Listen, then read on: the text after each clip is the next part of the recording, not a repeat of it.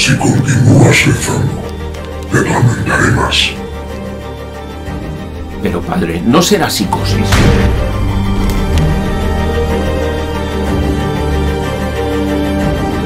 Está en producción y estrena en el 2024 una película sobre Santa Gemma Galgani, una santa hermosa de rostro pero hermosísima de alma, una santa que nos muestra cómo la cruz y el sufrimiento puede ser un gran medio y quizás de los mejores medios para llevarnos a Dios. Como decía un santo, cuánta pobreza desperdiciada cuando veía un lugar bien pobre.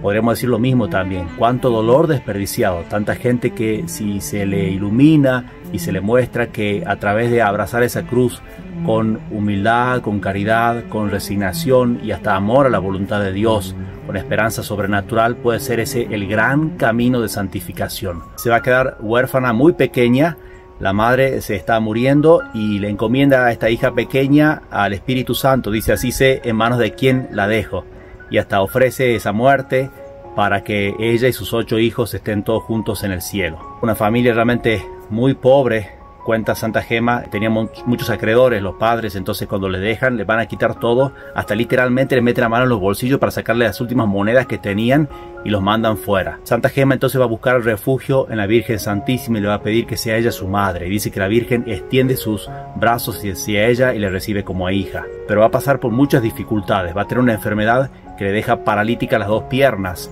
Entonces su director espiritual, que la va a ayudar muchísimo, le va a dar para que lea la vida de San Gabriel de la Dolorosa. Al principio lo rechaza, no le interesa leer la vida de santo, pero después empieza a leerla y dice que hasta le cuesta devolver el libro porque se ve afeccionado tanto a San Gabriel de la Dolorosa, que se le va a aparecer, y eso lo muestra en la película, la va a llamar mi hermana. La madre la hace hacer su confirmación a los 7 años antes de partir, pero va a ser recién a los 9 años cuando hace su primera comunión. Y lo va a hacer con retiro de preparación de 15 días, antes se hacían las cosas en serio. Y ahí está un sacerdote que le va a predicar sobre la pasión de Cristo y eso la conmueve muy profundamente. Dice Santa Gema sobre ese momento de su primera comunión. Me siento incapaz de describir la experiencia de aquel encuentro. En ese momento comprendí que las delicias del cielo no son como las de la tierra. Hubiera anhelado no interrumpir nunca aquella relación con mi Dios. Me sentía cada vez más desprendida del mundo y más dispuesta para la unión con el Señor. Aquella misma mañana Jesús despertó en mí un gran deseo de ser religiosa. Un día está predicando una misión un pasionista ahí en Luca donde vivió ella y donde estaba sepultada y reconocen ese hábito, el hábito y el monograma de los pasionistas que tenía San Gabriel de la Dolorosa cuando se le apareció. Entonces ahí entendió que Dios la llamaba a ser religiosa dentro de la orden de los pasionistas. Pero no la recibieron sino hasta el final, prácticamente luego de su muerte. Un día siente ansia de dar un beso a la imagen del crucifijo, pero no alcanza porque está muy alta. Jesús le sale al encuentro, desprendiendo un brazo de la cruz, la trae, la abraza muy estrechamente, permitiéndole apagar su sed en la fuente viva de su costado abierto.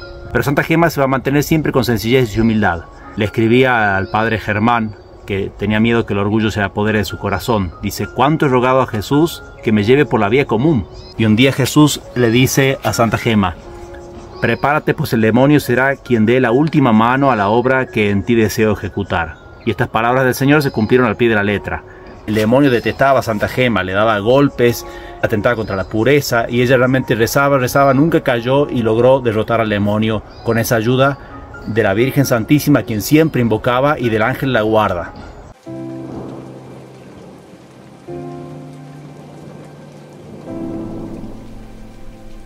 Buenas noches, Gema. Reza con fervor cada noche al Sagrado Corazón de Jesús.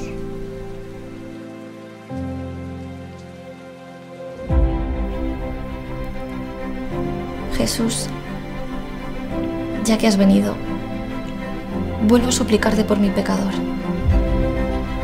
Es hijo tuyo y hermano mío. Sálvalo, Señor.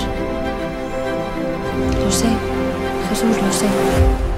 Muchas son sus faltas pero más he cometido yo y me perdonaste. Sí, lo confieso. No merezco que me escuches. Pero te voy a presentar a otra intercesora por mi pecador. Es tu misma madre, Señor. No irás ahora a decirle que no a tu mamá. A ella no le puedes decir que no.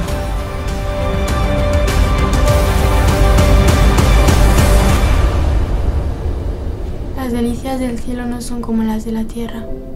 Siento un ardiente anhelo de padecer y ayudar a Jesús a sobrellevar la cruz.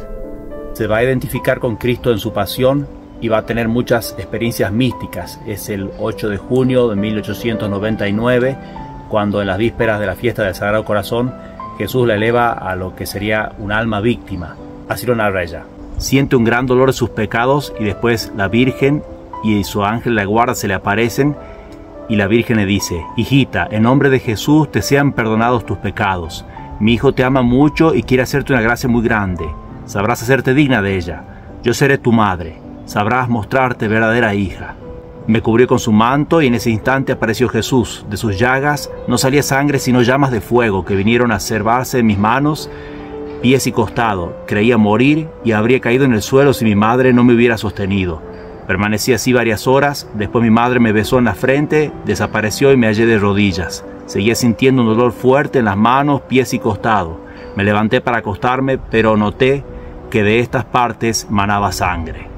Este fenómeno de las llagas místicas se va a repetir cada noche de jueves a viernes de cada semana. Su cuerpo está enterrado en Lucas, donde tuve la gracia de ir a rezarle hace algún tiempo, y su corazón está en Madrid, en el convento de los pasionistas.